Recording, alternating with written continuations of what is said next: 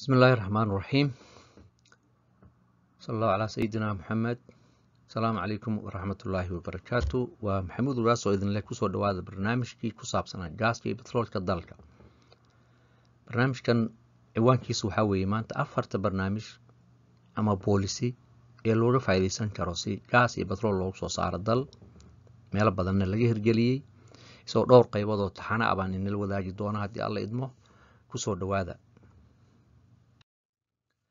tusmadiisu ama contentigiisu waxay ka kooban tahay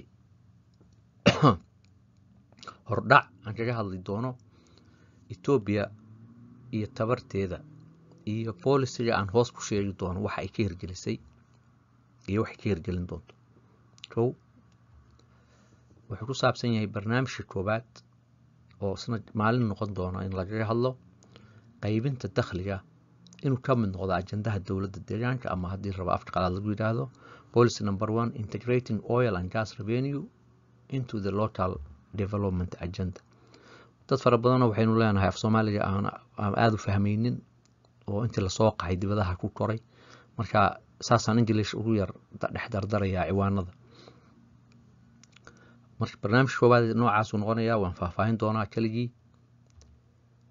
Barnaamijka labaadna waxaa weye nidaam siyaasadeed oo la abuuro sidii loola sameyn lahaa wadatashi cad dadka deegaanka. Ama policy number two adapting mechanism for ensuring effective consultation. Barnaamijka saddexaad waxaa weye nidaamkaas siyaasadeed inuu ka soo unuggiisu ka soo bilowdo degmada khayraadka iska leh. Ama haddii af ingiriis lagu yidhaahdo policy number three ensure that mechanism is in place in the producing area. Barnaamijka afraadna waxaa weeye in laga ilaaliyo isku koobidda dakhligaas oo keliya ee la abuuro ilo kale oo dakhli iyadoo faahfaahsan baan sheegi doonaa intaasoo barnaamij ayaa la hirgeliyaa oo la qoraa.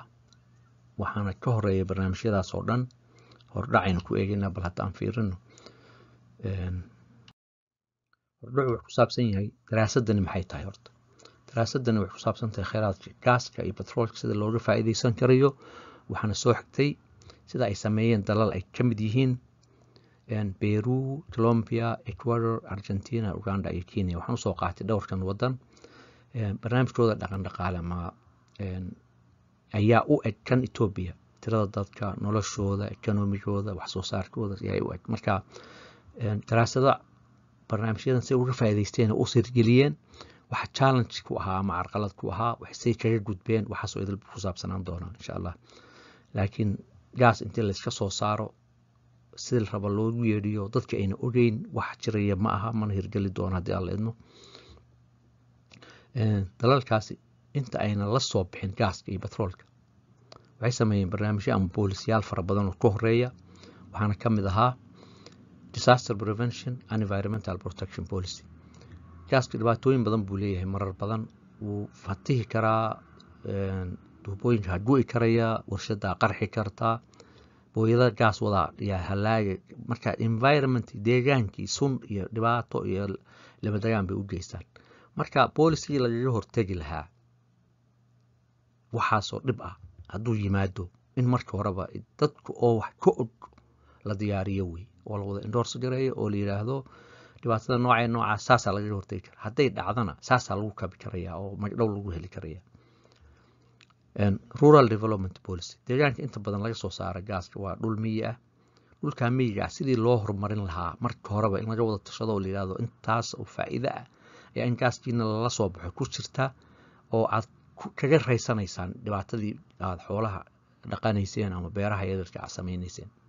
Ama haddii u baahan xoolihii iyo beerihii in loo technology yani farsamaysan loogu dhiso siyaasad la xidhiidha horumarintooda ayaa marka hore in la develop garaya human capital and transfer of knowledge and technology policy. Siyaasadda kale ee la sameeyey la meelmariyey waxa weeyaan dadkii ku noolaa deegaankaas sidii loo tayayn lahaa skills iyo farsamo iyo aqoon loogu saaciidin lahaa.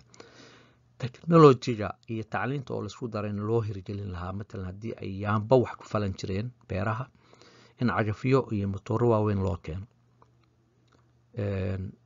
Haddii xoolaha ay iska daajin jireen afar saaco dhulku markuu roob beelana ay baabi'i jireen. Sidii kaymayn iyo biyeyn iyo tayeyn iyo loogu samayn lahaa xoolihii suuqgeyn dawo loo sameeyo knowledge iyo technology oo human capitalki la dhexgeliyo macnaa human capitalku waa dadkii adduunkuna dad ka kooban yahay wax wax soo saaraya. Tayeyntiisii weye siyaasadda waa in la hirgeliyo. Oo horta hor la qoro oo degmada iyo gobolku ay wax ka ogyihiin decentralization of executive and physical power. Qodobka afraad waxaa weeye lacagahan sida loo qaybinayo iyo hirgelinta howlahan gaaska ku saabsan. In la decentralize gareeyo. Decentralization waxaa weeye in la jajabiyo oo ay gobolka wax ku yeesho zoonka wax ku yeesho degmada wax ku yeelato. Xisaabta qaybinteeda iyo hirgelinta barnaamijyadan ee in wax yeedhis kor ka imanaya noqonin. Bolicigana waa in la develop gareeyo. District development program policy degmada barnaamij ku saabsan horumarinteeda waxa uu yahay. Maxay haysataa? Waxa ay haysatee khayraada see looga faa'iidaysan karaa gaaska keliya maaha? Dadku maxay tabar leeyihiin maxay tayo leeyihiin see loo kordhin karaa tayadoodii tabartoodii? Dhulka see loo develop garayn karaa? Maxay u baahan yihiin maxaa ka maqan? Boliciga ku saabsan district development policy in la develop gareeyo wey barnaamijka lixaadna waxaa weye national system of participatory public investment. Dhulkan khayraadkiisa dowladaheena inago aan ka mid nahay ee yararka ah sida lagu soo saaro aada buu adagya waa qaali. laba kun iyo sideed boqoloo mitir baa ceelkiiba la qodayaa warshad baa laga dhisay tuubooyin baa la hirgelin. Systemkaa dhan maalgelin shisheeye u baahan yahay. Maalgelintaa shisheeye marka siyaasadii ku wajahnayd sidii loo hirgelin lahaa isaga oo participatory participatory waxa say dadku uga qaybgeli lahaayeen siyaasaddaas. Degmadu intee rool bay ku leedahay in lagala tashadoba marka hore maalgelintaas oo cid rabto inay maalgeliso ma dhihi kartaa yes. Ciday diidan tahayna ma dhihi kartaa no. Siyaasaddaas baa yaa ka a wax la hirgelinayo haddaba lixdaas policy oo ay hirgeliyeen dowladahaas ah peru colombia ecuador argentina uganda iyo kenya ayaa ka horeeyey afarta barnaamijkan leenahay waa la samayn doonaa etoobiya marka maxaa ku jira hadda lixdaas siyaasadood? Maxaa ka jira? Haddii la sameeyey yaa lagala tashaday degmadu ma intee leeg bay ka ogtay inta aqoonyahan ama iskuul ama jaamacadeed ama maamul ay jiraayey ka warhayaan ma waxaa laga weydiiyey wax ma ka bedeli karayaan ma ku mudaharaadi karaan taa ma rabna ma odhan karaan. Waanu ognahay inayna waxaan oo jirin siyaasadahaasoo dhan in la develop gareeyo oo dadkii lagala tashado oo la hirgeliyo oo af soomaali iyo xabash iyo englishba lagu qoro nin walba wax akhriyi karayo oo gooladii iyo degmooyinka uu yaallo oo boolisigaas baan waxaa ku samaynayaa lala soo bixi karayo ayaa ka horreeya marka dowladahaasi markay develop gareeyeen siyaasadahaasoo idin ama systemskaas policeskaas waxaa ka horeeyey dowladuhu dowladaha legitimeedo xalaaloo la doorta wey oo doorashooyin gala oo ku soo baxa ama xukun military aan ku imanin ama jujuub kolley dee tayada doorashadu way kala duwanaan kartaa oo afduub buu iska jiraa laakiin sida hadda etoobiya uu markii horena afduub u ahayd haddana afduubkii mid la mid ah intuu galay uu ballanqaadyadiisi la sugiyo inuu hirgeliyo dowladuhu waa inay legitimate ah yihiin marka hore. Legitimatena wuxuu ka iman karayaa free and fair election. Hadda ra'iisul wasaaraha etoobiya uu ballan qaaday in free fair election doorasho xalaalah ay dhici doonto oo cidda doorashada ku guuleysta ay wax maamuli doonto doorashada xalaashii markay dhacda kadib. Ayaa systemskiina la hirgelinay oo dadki intii lagala tashada la samayn doonayo booliskii lixda ahaa hadda aan sheegahay. Markaa kadib baa good governance iman. Qodobkaa good governancega si gaar ahaan u falanqayn doona haddii alla idmo next slide dowladnimo wadaag ayaa ayaa la samaynaya. Okay. Dhibaatooyinka ka iman karaya gaaska iyo batroolka la soo saara maxaa ka mid mar walba dhibaatadaas waa in loo togayo waayo waxaa ka iman karaya barabax. Dadkii waa meesha ka baxaya waxaa ka iman karaya dagaallo cusub. Waxaa ka iman karaya nabaad guur. Waxaasoo idil baa ka iman kara. Waxaa ka iman karaya culays siyaasadeed. Oo ciddii matalan siyaasadaha hogaaminaysay gobolka iyo dowladda dhexe inay isku dhacaan la isku afgaran waayo systemskii marka la develop garaynayo qaybsigii hirgelintii waayo hadda dastuurka qodobka afartan iyo koowaad baa sheegaya khayraadka dabiicigan etoobiya maamulayso. Laakiin qodobo ka horreeya sida hadda kii la soo saarayay boqolkiiba konton bay shacabku yeelanayaan dagaanka iska leh. In procedural maxkamaddu qorto dastuurka lagu daro oo la baasgareeyo golaha federation keliyata ma uu xeer noqdo weeye marka xeerkaas hirgelintiisa haddaan dadkii lahaa lagala tashanaynin oo aan la sii jajabinaynin sida loo sii jabinayna dadku ayna rool ku yeelanayn run walba roolku ku leeyahay leeyahay ayna caddayn. Culays siyaasadeed baa imanaya. Waxaa iman karaa dhulkeennii oo sida guud ahaanba faraha uga baxa. Haddaan siyaasadahaas wax lagu yeelanin haddii aan lixdii siyaasadoodii hadda u dambeeyeen sheegahaya taladiis ayna marka horeba inaan wax ku yeelan dhulkii faraha ku bixi kara waayo toban milyan oo shaqaale ah hadday intay yimaadaan ku soo guuraan wadanka horumarkiisii wixii intay dhahaan waan meel badana shaqo kale kama jirto. Gobolkaas kaliya ka jiri doonta. Dabeetana ay xaq u yeeshaan haddana codbixinta inay galaan. Oo dabeetana cidday rabaan iyagu ay doortaan. Si dhib yar oo dhib yar oo sagaar ka beeqsanin ayuu wadanka faraha uga bixi karaya marka waa good governance ayaan u soo noqonayaa. Marka intuu election xalaali dhaco systemskii la rabayna la develop gareeyo dadkii lagala tashanayo waxaa loo baahanya dowladnimo wadaag in la sameeyo marka. Dowladnimo wadaag waa waxaana oo sideed qodob oo adduunka la dhiraaf gareeyey meelo fara badanna laga dhigo. Waa baraarujin uun dad badan way garanayaan waa inay ku yar celinayaan. Accountability.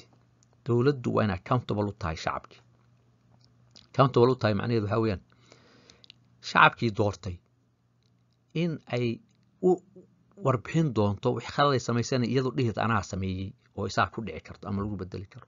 Ama hadduu shaksiya shaksigaa lagu xidhi karo maxkamada soo saari karo. Wixii wanaagii samaysana iyadu ay mahaddeedi qaadato shacabku ugu mahadnoqo marka shacabku dowladay u taliso waa inuu noqdo transparent dowlad cad oo waxa ay samaynaysaa aan wax la qariye ahayn.